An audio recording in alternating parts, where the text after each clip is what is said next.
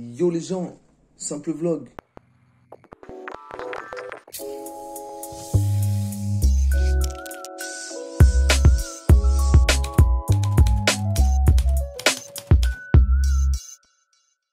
Pour vous parler aujourd'hui d'un mec que je viens de découvrir grâce à, au poteau Amédée, une fois de plus.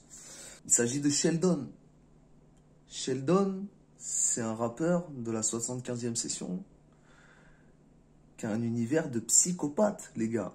En fait, euh, il a créé une espèce de d'univers complet, une histoire euh, fictionnelle qui développe à travers sa musique, entre autres.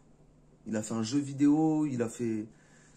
Il y a des tonnes de trucs autour de cet univers-là, et surtout, donc il y a un album qui raconte une histoire, ça s'appelle Lune Noire, que j'ai surkiffé, je l'ai écouté en boucle depuis que je me suis mis à l'écouter.